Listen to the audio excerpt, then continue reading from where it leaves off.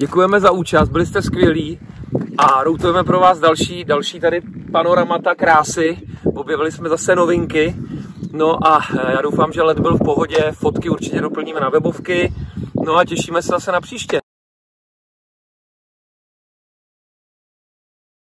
Kluci, mějte se krásně, pozdravujte v Čechách. Děkujeme.